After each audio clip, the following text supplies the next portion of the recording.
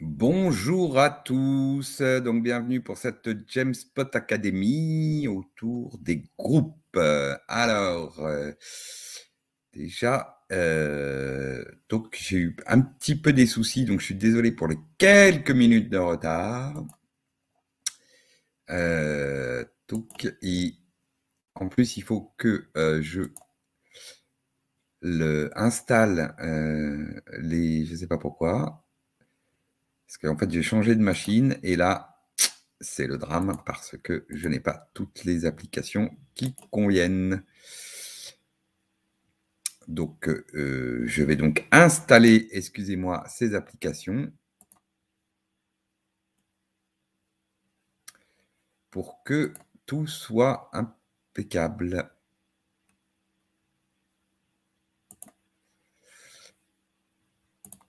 Voilà.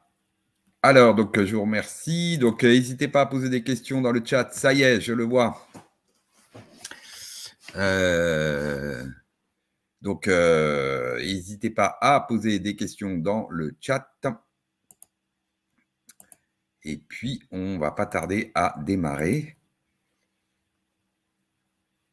la session d'aujourd'hui. Hop, alors je vais me cacher parce que je vois qu'il y a la lumière qui est juste là, ce qui n'est pas très agréable.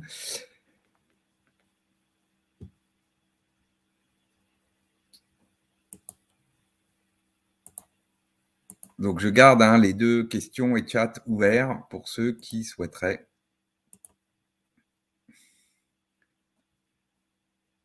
Les,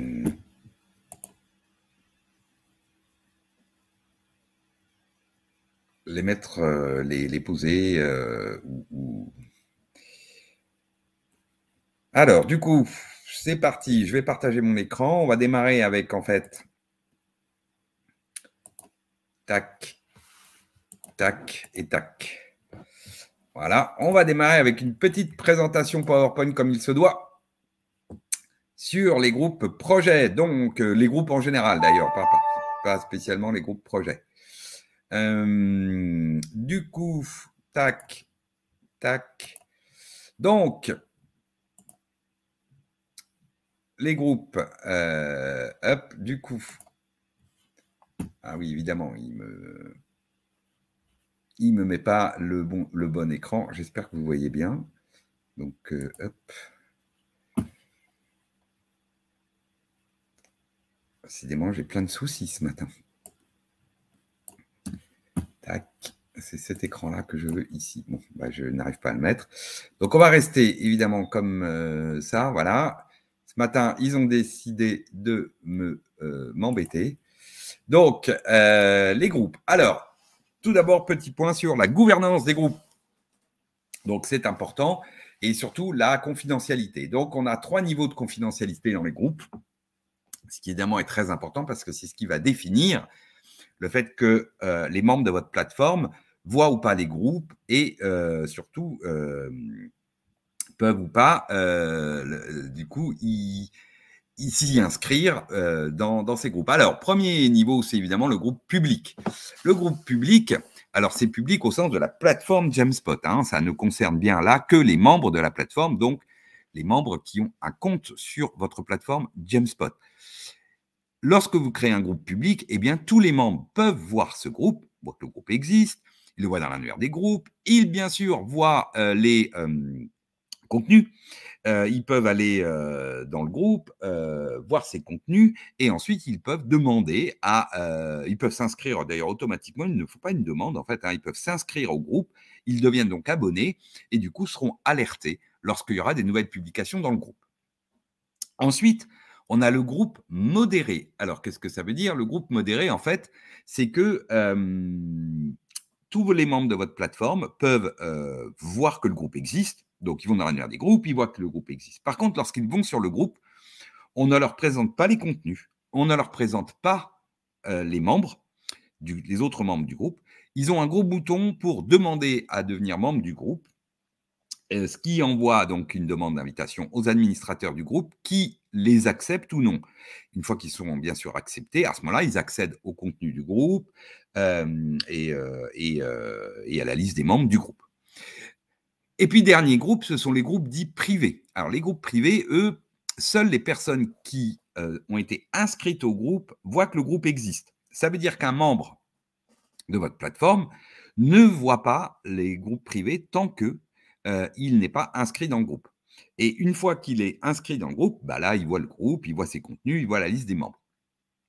Euh, voilà les trois niveaux de confidentialité d'un groupe. Alors, une fois que je suis. Alors, je, tout de suite, effectivement, je vois ici user restreint, donc utilisateur restreint. Euh, donc, ça, c'est vrai pour les administrateurs et les utilisateurs normaux euh, donc, qui ont le statut d'utilisateur sur la plateforme. par contre, vous pouvez avoir des membres sur votre plateforme qui ont le statut d'utilisateur restreint. Euh, qui est un statut un peu euh, particulier, singulier, dont une des clés, c'est que pour un utilisateur restreint, les groupes publics sont privés, en fait. Euh, en fait, tous les groupes sont privés. C'est-à-dire qu'il ne voit pas ni les groupes publics ni les groupes modérés. Il ne peut voir que les groupes dans lesquels il a été inscrit. Donc, pour lui, c'est comme si tous les groupes étaient privés. Voilà. Ensuite, une fois que je suis dans le groupe, bah, j'ai des rôles dans le groupe. Euh, et donc là, c'est qu'est-ce que j'ai le droit de faire dans le groupe? Alors, il y a un fondateur de groupe, ça c'est assez classique, il y en a un seul. Et puis, il y a des administrateurs. Donc, euh, le fondateur va créer le groupe et, nommer ses administrateurs. ils ont, euh, le fondateur et l'administrateur, le droit d'éditer, on y reviendra, les paramètres du groupe, on y reviendra tout à l'heure. Donc, par exemple, euh, donner les rôles aux, différents autres membres du groupe, choisir la fréquence d'alerte mail par défaut du groupe, ajouter éventuellement une application dans le groupe. Donc, ils vont pouvoir accéder aux réglages et au paramétrage du groupe. La différence entre le fondateur et l'administrateur, c'est que euh, seul le fondateur peut supprimer le groupe hein, en front office. Alors après, les administrateurs de plateforme, donc eux, ont un peu tous les droits dans le back-office, mais un administrateur de groupe ne peut pas supprimer le groupe duquel il est administrateur. Il n'y a que le fondateur qui peut le faire. Ensuite, on a les rédacteurs. Eh bien, les rédacteurs, ils peuvent publier dans le groupe, euh, publier des contenus dans le groupe. Euh, et puis ensuite, il y a des membres. Les membres, eux, ne peuvent que commenter. Ils ne peuvent pas publier dans le, groupe. Donc, ils peuvent que commenter. Et puis, dans un groupe public, on a un statut un peu particulier qui n'est pas lié au groupe d'ailleurs, qui sont les visiteurs. C'est simplement qu'un groupe public, puisque les gens peuvent aller dedans, eh bien, euh, il y a des, visiteurs donc qui peuvent aller voir les contenus du groupe. Mais euh, c'est la, seule différence. Donc, on a vu notre confidentialité des groupes, les rôles dans les groupes. Euh, après, bon, les groupes en général. Après, on a un groupe un peu particulier chez nous qui est le groupe de gestion de demande. Alors, c'est quoi Test D'abord, c'est une application dédiée qu'on active sur sa plateforme. À partir de là, on peut créer des groupes dits de gestion de demande. C'est quoi la différence? Eh bien, on a vu tout à l'heure que, on, vient de voir plutôt que on mettait des, membres, on inscrivait ou on invitait des membres dans le groupe avec un, rôle dans le groupe, rédacteur, euh, membre, administrateur. Et du coup, tous ces gens-là voient tous les contenus du groupe, forcément, puisqu'ils sont dans le groupe. Le groupe de gestion de demande a cette singularité que, a priori, on va dire, bah, si on laisse ça tout libre, eh ben, tout le monde peut publier dans le groupe. Donc, tous les membres de votre plateforme peuvent publier dans ce groupe. Par contre, ils ne voient que leur propre publication. Et ils n'ont pas besoin d'appartenir au groupe. Pour euh, pouvoir publier dans ce groupe. Seuls les membres du groupe qui ont été inscrits dans le groupe, donc euh, eux voient tous les contenus et peuvent répondre à tout. Donc ça veut dire que c'est un groupe en fait dans lequel les membres du groupe voient tous les contenus et à l'inverse, les autres membres de la plateforme peuvent publier dans le groupe, mais ils ne voient que leur propre contenu. Ils ne voient pas le contenu publié par les autres. Euh, alors, du coup, pourquoi est-ce qu'on a créé ça? Bah, Tout simplement pour répondre, et ça porte bien son nom, aux problématiques de demande. C'est-à-dire, ce sont euh, des usages plutôt liés au fait que euh, moi, je veux faire une demande auprès d'une équipe particulière, où je veux publier quelque chose pour une équipe particulière, et a priori, je ne veux pas, ou il n'est pas nécessaire que ce contenu soit vu des autres. je veux qu'il ne soit vu que de cette équipe-là. Donc ça répond aux usages de type, ben, par exemple, support, hein, du support juridique, du support technique, du support informatique. Hein. je vais pouvoir poser une question, par exemple, à l'équipe euh, juridique. Euh, donc, dans le groupe de gestion de demande, seule l'équipe juridique est membre du groupe. qui peuvent être évidemment rédacteurs ou administrateurs ou simplement, mais et donc, lorsque moi, membre de la plateforme, je vais publier dans ce groupe, eh bien, seule l'équipe juridique va pouvoir voir mon contenu et me répondre. Et donc, et moi, je ne verrai pas les contenus posés par les autres membres de la plateforme. Et moi, si j'appartiens du coup à l'équipe juridique, eh bien, je vois tous les contenus, je peux répondre à toutes les questions qui ont été posées dans ce groupe-là. Évidemment, la réponse n'est vue que de la personne qui a publié dans le, sur le contenu dans le groupe. Donc on retrouve effectivement le support, les, bah, demandes, hein, groupe de gestion de demande, demande d'intervention, demande de congé, une demande de formation. Tout ça, on voit bien que ce sont demandes qui sont faites à des équipes particulières. Euh, les process de validation, exemple aussi, euh, donc euh, on, veut qu'il y ait une équipe qui valide quelque chose avant de faire, par exemple, une publication sur un groupe où il y aurait tout le monde ou des process d'évaluation, etc. Donc c'est tout ce qui est une relation euh, de type euh, moi vers une équipe et, euh, et en plus très singulière, c'est-à-dire que l'équipe et moi sommes en échange singulier. Donc ça n'est pas montré aux autres. Ensuite, les réglages dans les groupes. Donc, on va aller voir sur une plateforme, mais effectivement, j'ai des quand je crée un groupe, j'ai pas mal de réglages que je peux faire déjà, le réglage obligatoire, c'est la confidentialité du groupe. Est-ce qu'il est public, privé ou modéré? Et ensuite, si j'ai activé les catégories, eh bien, il faut que je range mon groupe dans une catégorie.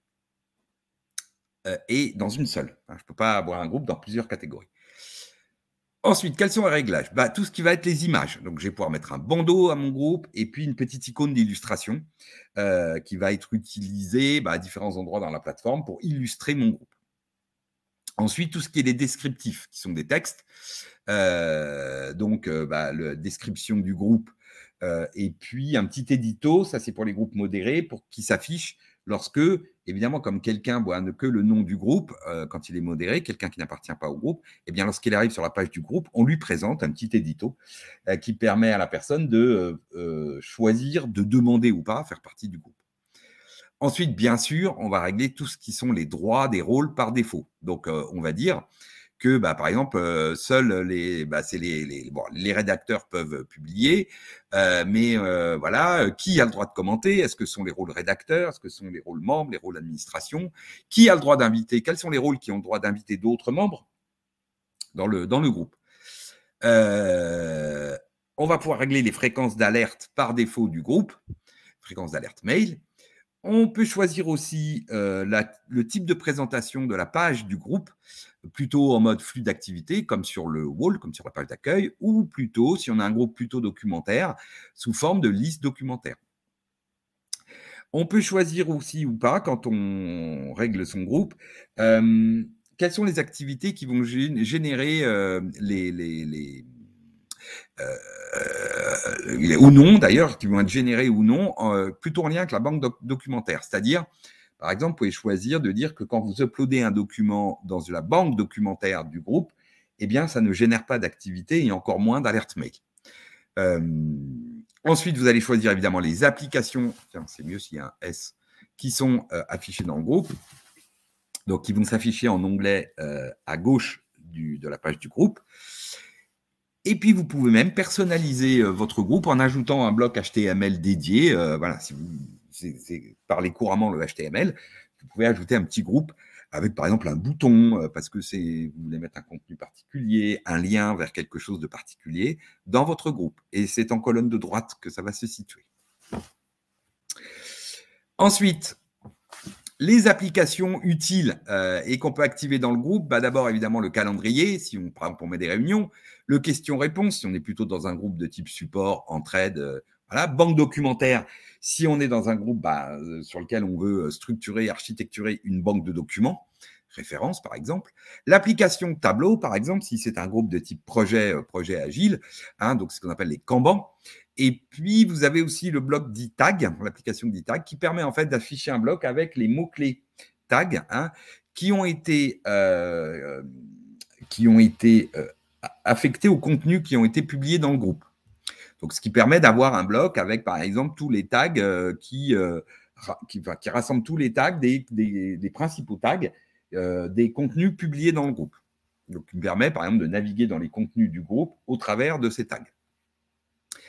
Ensuite, il y a des, évidemment, par exemple, si on est dans un groupe de type euh, projet, euh, eh bien, on va pouvoir activer des apps alors qui n'ont pas d'incidence, je dirais, sur l'ergonomie et l'organisation du groupe, mais évidemment dans sa façon de travailler, comme par exemple l'édition collaborative, pour, les, pour pouvoir euh, être en, édité en ligne et en temps réel des documents tous ensemble, le sondage de date, par exemple, pour organiser euh, des réunions, euh, l'application réunion, qui est un peu la même que l'application calendrier événement, mais qui a en plus un champ compte rendu qu'on peut effectivement compléter par défaut dans le, dans le formulaire réunion.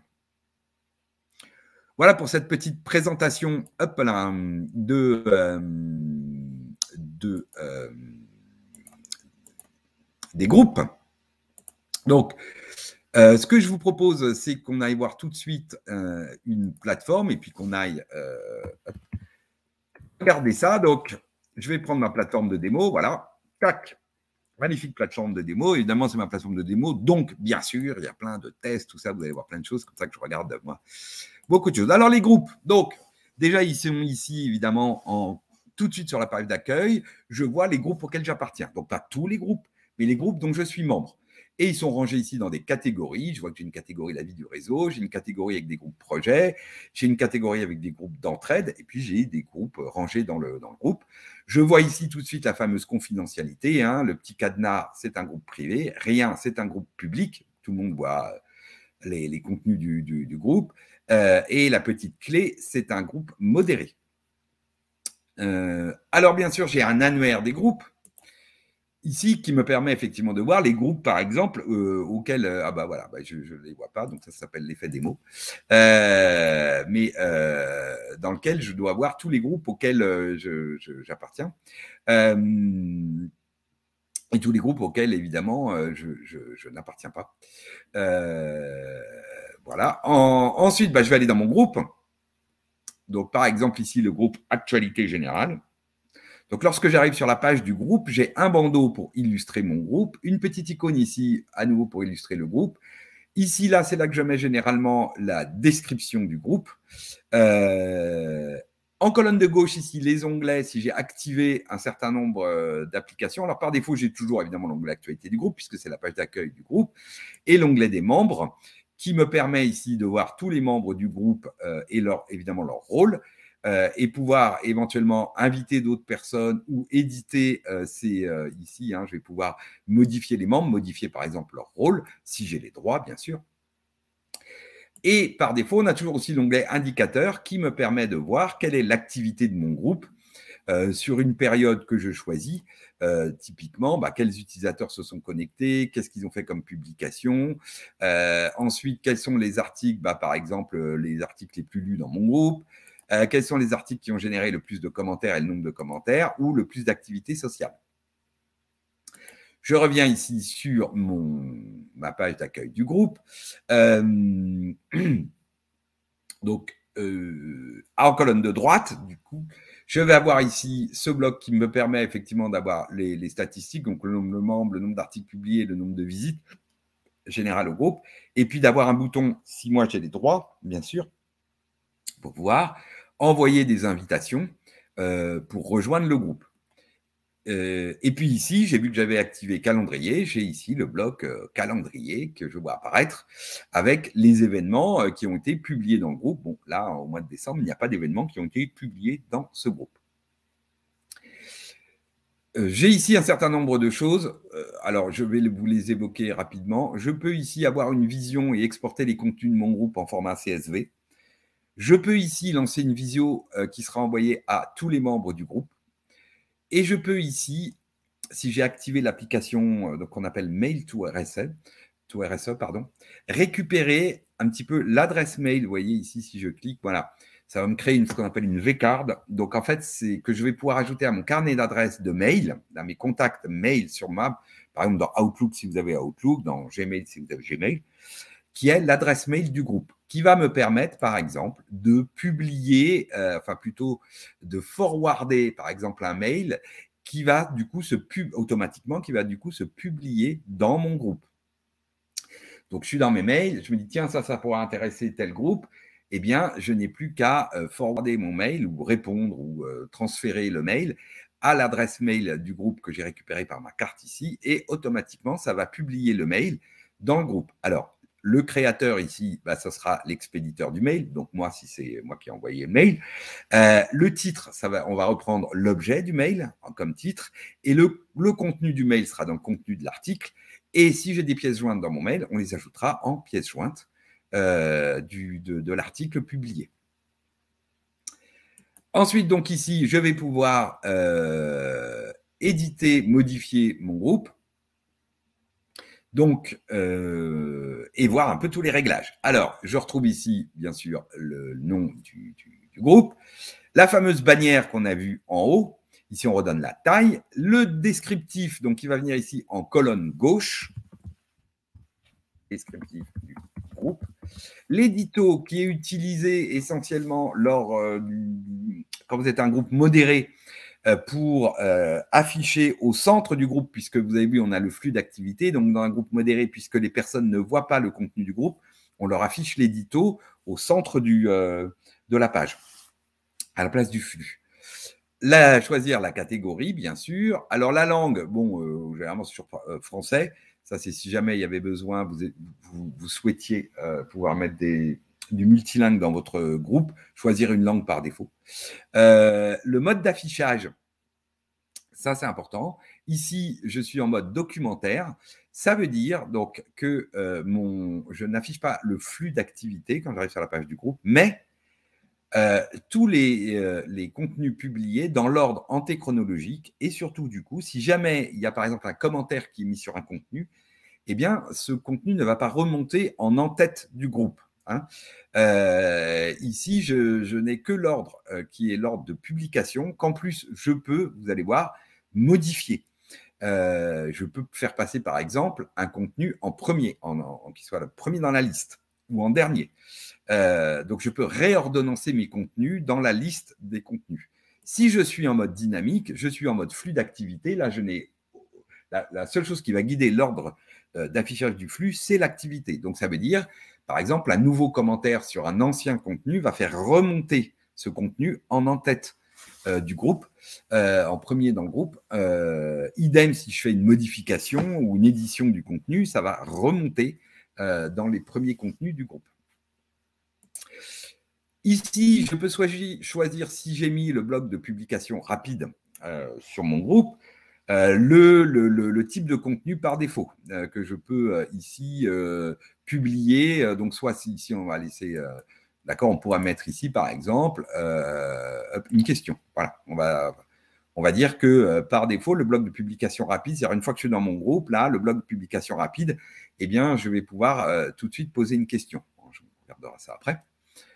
La fameuse confidentialité, hein, on l'a dit, public, privé, modéré. Donc là, on rentre dans tous les droits. Ensuite, le rôle par défaut lorsque quelqu'un s'inscrit euh, au groupe. Donc ça, évidemment, c'est très important dans un groupe public. Un groupe public, les gens peuvent s'y inscrire et donc s'y abonner euh, en cliquant juste sur le bouton. Et donc dans ce cas-là, il nous faut savoir quel rôle on le, avec quel rôle on inscrit ce membre dans le groupe.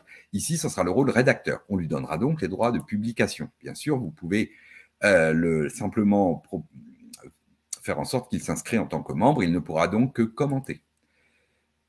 Si effectivement ici, le rôle de commentaire, euh, le rôle pour les droits aux commentaires est bien membre. Si je ne veux pas que mes membres puissent commenter, il suffit ici que je mette rédacteur. À ce moment-là, les membres du groupe ne pourront même pas commenter les contenus. Et puis, je peux choisir même d'avoir des groupes dans lesquels il n'y a jamais de commentaires sur mes contenus. Alors ensuite, ici, on a un réglage assez particulier qui est celui pour euh, le droit d'édition des contenus. Euh, normalement et par défaut, ici, seuls les administrateurs peuvent éditer les contenus publiés, voire les supprimer. Alors ça, ça marche très bien et c'est logique. Donc un rédacteur, il peut lui éditer son propre contenu pour le corriger, par exemple, mais il ne peut pas éditer le contenu publié par les autres membres du groupe, les autres rédacteurs du groupe. Le problème, c'est quand on fait de l'édition collaborative, donc où on est tous en live à travailler ensemble sur le document, eh bien, il faut que tout le monde ait les droits, évidemment, euh, d'édition du document pour qu'on puisse tous travailler ensemble dessus. Euh, et donc, ça nécessite ici de pouvoir gérer, en gros, à quel niveau on, autorise les, enfin, quels sont les rôles qui sont autorisés à éditer les contenus, donc à pouvoir travailler ensemble. Donc, si c'est administrateur, ben, ça veut dire que tous les gens qui doivent travailler sur un document commun, ben, il faut tous qu'ils soient administrateurs dans le groupe, puisqu'il faut tous qu'ils puissent éditer euh, le contenu pour pouvoir le modifier. Euh, si on ne souhaite leur donner que accès, euh, évidemment, si vous les mettez administrateurs tous, eh bien, ils vont tous pouvoir modifier les autres paramètres du groupe.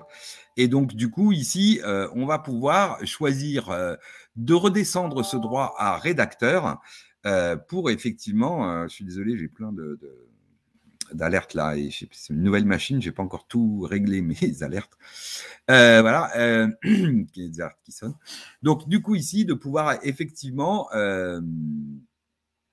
rédiger le, le, le, pardon, éditer les contenus et redescendre ça au niveau rédacteur afin que tous les rédacteurs puissent travailler en commun sur un document et donc l'éditer tous de façon commune. Vous avez ici un rappel de tous ces droits, d'accord, qui sont liés aussi à la banque documentaire, si vous avez activé la banque documentaire. Un petit lien qui vous permet de euh, revoir tous les droits euh, liés à ça. Ensuite, autre droit, c'est euh, vous allez choisir qui, quels sont les rôles qui ont le droit d'inviter des gens dans le groupe. Donc là, par exemple, ici, c'est rédacteur. Donc tous les membres qui sont rédacteurs dans ce groupe peuvent inviter d'autres membres dans la plateforme, de la plateforme bien sûr, à, euh, à rejoindre le groupe. Hein, c'est bien des gens qui ont un compte sur la plateforme. Ensuite, on en a parlé tout à l'heure, la fréquence d'alerte par défaut. Donc ici, euh, fréquence des notifications mail. Donc ici, c'est la fréquence par défaut de la plateforme, euh, qui est généralement soit temps réel, soit récap quotidien. donc ça, il faut demander à l'administrateur de plateforme ou quelle est la fréquence par défaut euh, de chaque utilisateur euh, qui va être appliquée ici. Euh, et si vous souhaitez vous assurer l'envoi des mails d'alerte, eh bien, il suffit ici de sélectionner la fréquence que vous souhaitez, donc par exemple temps réel, et ici, donc, partiront les alertes mail des publications, des nouvelles publications, d'accord euh, et des nouveaux commentaires. Vous pouvez dire, par exemple, pas la peine de, euh, d'envoyer un alert mail temps réel pour les nouveaux commentaires. Euh, ensuite, vous pouvez ici verrouiller la configuration. Donc ça, ah, quand vous faites ça, vous empêchez les membres du groupe de modifier cette configuration d'alerte mail. Enfin, dernier point, si vous avez déjà des membres dans votre plateforme et que dans votre groupe, pardon, et que vous faites des modifs, évidemment, il faut pouvoir les appliquer, euh, donc vous changez des choses, il faut pouvoir les appliquer euh, ces paramètres aux membres du, groupe. Parce que ça, ça va être vrai pour tous les nouveaux membres qui arrivent dans le groupe. Donc, ici, vous avez un lien qui vous permet d'appliquer ces réglages à tous les membres du groupe. Ensuite, j'avais parlé tout à l'heure de pouvoir régler quel type d'activités euh, euh, sont euh, affichées sur le wall ou envoyer un alerte mail. Donc, on voit ici que, bon, par défaut, tout est à oui, mais je peux par exemple choisir de ne, de, ne, pas publier les activités sur le mur du groupe et ne pas envoyer d'alerte mail. Hein, je clique ici sur non. Ou juste de notifier les activités de la banque documentaire. Donc là, ici, du coup, hein, bien sûr, tout ce qui se passe dans le groupe eh bien, euh, il n'y aura pas d'activité mail, ni, euh, non seulement euh, pas d'activité dans le flux, pardon, ni du groupe, ni du wall, ni de la page d'accueil, et en plus pas d'envoi de mail. Ici, je vais juste envoyer, je vais juste notifier les activités de la banque documentaire au niveau du groupe, pas sur la page d'accueil. D'accord? Donc, quelqu'un qui appartient au groupe, qui arriverait sur la page d'accueil de Jamspot, dans son flux d'activités, il ne verrait pas les activités banque documentaire de ce groupe-là. Enfin, ici, euh, je, notifie les activités de la banque documentaire euh, dans le, flux euh, du wall aussi. Donc ici, je ne l'affiche nulle part. Ici, je l'affiche bien dans le, flux du, du, groupe, mais pas sur le flux d'activité globale. Ensuite, ici, c'est un paramétrage. C'est si vous voulez, on, pourrait le sortir d'ailleurs, que euh, euh, publier en flux RSS l'activité de votre groupe. Donc, c'est créer un flux RSS à partir des publications qui sont faites dans ce groupe-là. Euh, bon, c'est rare qu'on ait besoin de ça. Ensuite, donc j'ai ma fameuse bannière, pardon, j'ai ma fameuse icône. Ici, vous voyez ma bannière, pardon, excusez-moi, j'ai ma fameuse bannière. Là, vous pouvez choisir dans votre dans le flux du groupe, donc sur la page d'accueil du, groupe, dans le flux, soit de présenter tout le, contenu de l'article pour éviter que les gens aient à cliquer pour aller voir tout le contenu de l'article, soit uniquement évidemment le début et avec un lien lire la suite. Vous pouvez choisir que, euh, alors ça c'est que les administrateurs de plateforme hein, qui, ont ce paramétrage-là. Euh, vous pouvez choisir que euh, les gens ne peuvent pas se désabonner de ce groupe. Donc forcément, du coup, ils auront les activités du groupe vous pouvez intégrer cette fois un flux RSS dans ce groupe. Donc, si vous avez un flux RSS euh, ou vous souhaitez qu'il soit publié automatiquement dans le groupe, eh bien, vous pouvez ici créer votre flux RSS, dire qui sera le compte user qui va être le publicateur de chaque article du flux RSS dans ce groupe et choisir ou pas d'envoyer évidemment un mail d'alerte à chaque fois qu'il y a une publication. Euh, ça, c'est parce qu'il y a des flux RSS qui génèrent beaucoup, beaucoup d'articles dans la journée. Donc, euh, voilà, on peut très bien ne pas vouloir euh, prévenir, alerter euh, de chaque publication de ce flux RSS dans le groupe. Ici, donc, la petite icône, vous voyez, que je mets pour illustrer mon groupe. Et puis, dernier paramètre, les derniers paramétrages concernent les blocs et les activités, les, applications. Donc ici, j'ai un certain nombre de, blocs disponibles qui ne sont pas actifs voyez que je n'ai que le bloc calendrier pour l'instant qui est en activité sur ce groupe, donc qui est visible sur mon groupe. Je peux tout à fait ajouter tableau, donc c'est les projets agiles, la banque documentaire si je veux mettre une banque documentaire, un bloc, un onglet et un bloc questions-réponses. Donc questions-réponses. Euh, je vais mettre aussi, euh, par exemple, les tags. Je ne sais pas s'il y a des tags, mais euh, qui vont donc, hein, je rappelle, ça c'est l'affichage des tags mots-clés qui sont portés par les contenus publiés dans ce groupe. Euh, et puis, je peux créer moi-même un groupe. Voilà, ici, je vais donner son nom. Et là, si je fais du HTML, voilà, alors on va juste créer un. Euh, donc, je crée un paragraphe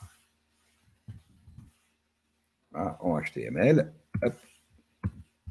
Généralement, ici, on peut mettre, généralement, c'est pour mettre un bouton qui renvoie vers une autre page, une, application, vers un site web. Enfin, là, on peut.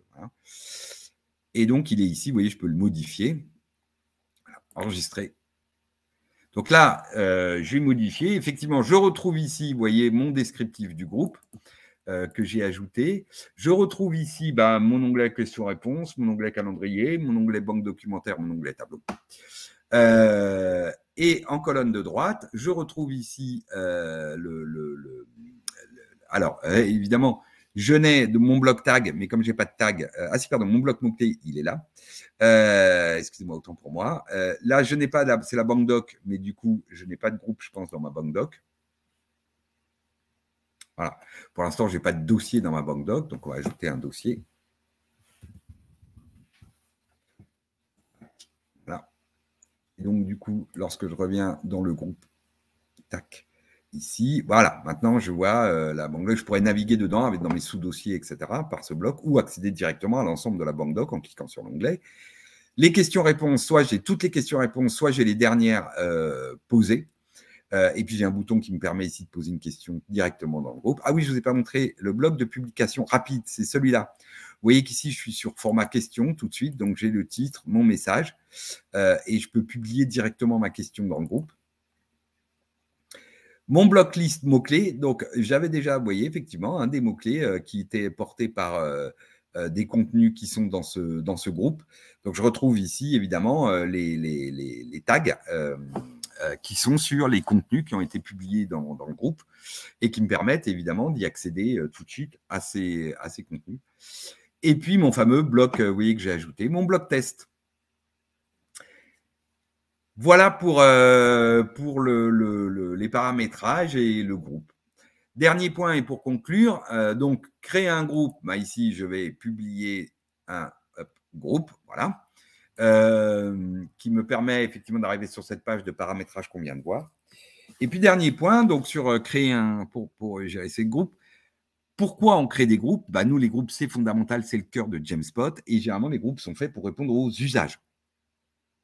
Et moi, j'ai coutume de dire que euh, euh, un usage, un groupe. Alors, j'exagère un petit peu parce que euh, voilà, il y a des usages où on n'est pas obligé, on peut avoir même plusieurs groupes. Et à l'inverse, il y a un groupe qui peut couvrir plusieurs usages parfois. Mais enfin, c'est bien de se dire un usage, un groupe. Donc, par exemple, euh, c'est mon groupe de service, euh, moi, le service qu'on appelle euh, donc Relations Clients, Customer Success Management, les CSM chez Jamspot. Bah, on a un groupe qui s'appelle Actualité des CSM. On a un groupe qu'on a appelé donc la banque documents, des documents références CSM. on a un groupe entraide et questions entre CSM. Voilà. Donc, vous voyez, j'ai trois usages, trois groupes. Euh, et euh, souvent, moi, je conseille ça parce qu'au moins, comme ça, les groupes sont clairs. Autre point important, bien mettre euh, le. et ne pas avoir peur des titres longs des groupes parce que ça permet aux gens de tout de suite comprendre qu'est-ce que c'est que ce groupe, qu'est-ce que je peux y faire, qui est dedans, versus avoir des titres très, très, très courts. exemple, le groupe CSM chez nous, hein, le groupe de, de l'équipe CSM. ça, évidemment, moi, utilisateur ou un nouveau qui arrive, Qu'est-ce que je vais trouver là-dedans C'est pourquoi faire Qu'est-ce que je peux y faire Voilà, ça me donne aucune idée. Donc, euh, c'est mieux d'avoir des, groupes euh, avec des titres signifiants qui donnent l'usage attendu du groupe. Voilà pour mon petit tour euh, sur les groupes. Bah, j'espère que ça vous a aidé. Puis donc,